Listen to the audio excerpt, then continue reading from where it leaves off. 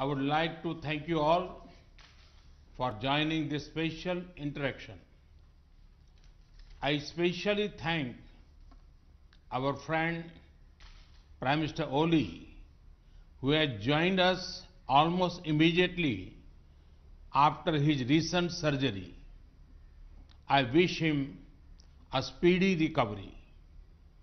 I would also like to congratulate President Ashraf Ghani for his recent re-election. I welcome the new Secretary General of SAARC, who is also with us today. I also acknowledge the presence of the Director of the SAARC Disaster Management Center from Gandhinagar.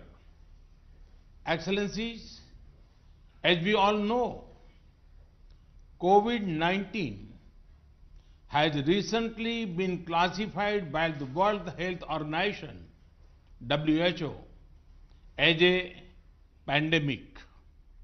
So far, our SAARC region has listed fewer than 150 cases, but we need to remain vigilant.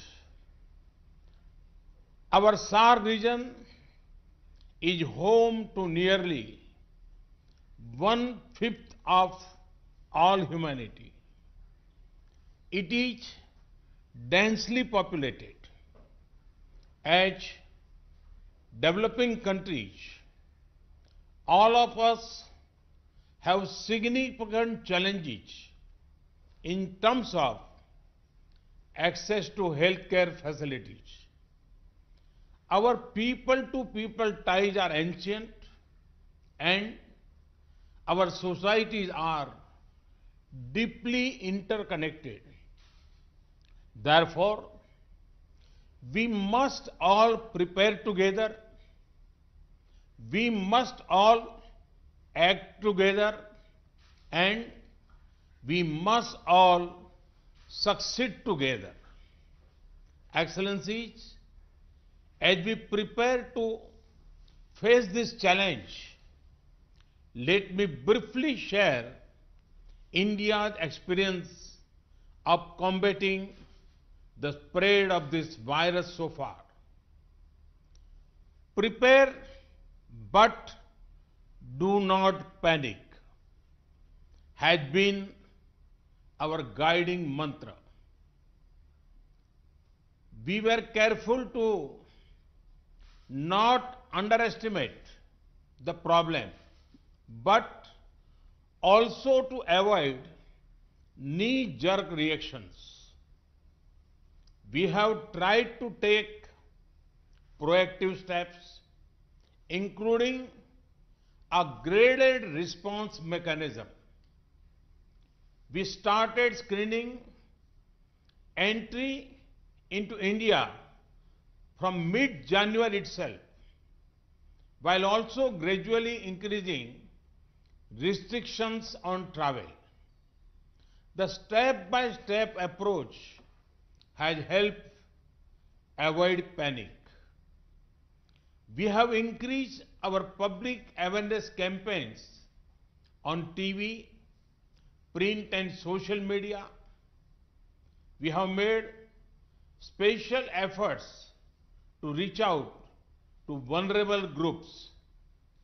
We have worked to quickly ramp up capacity in our system, including through training our medical staff across the country.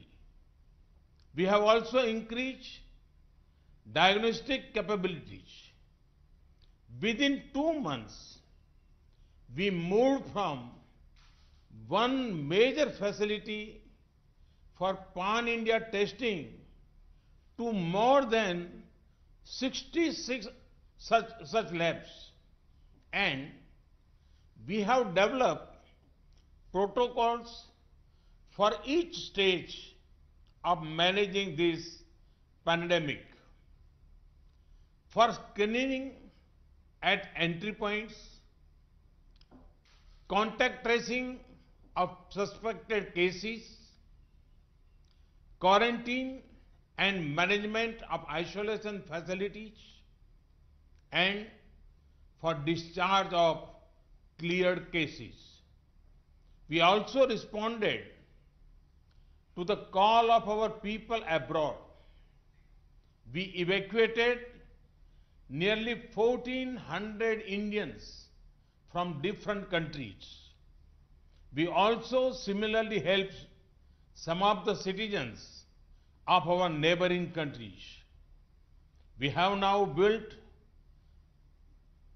our a, a protocol for such evacuations, including carrying out testing by our mobile teams deployed abroad.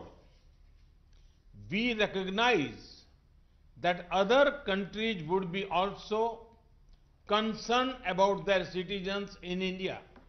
So, we beep foreign ambassadors about the states, uh, about the steps we were taking.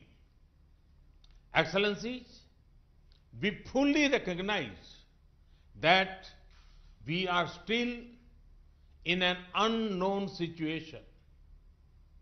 We cannot predict with certainty how the situation will unfold despite our best efforts. You must also be facing similar concerns. This is why it would be most valuable for all of us to share our perspectives. I look forward to hearing your views. Thank you. Thank you very much.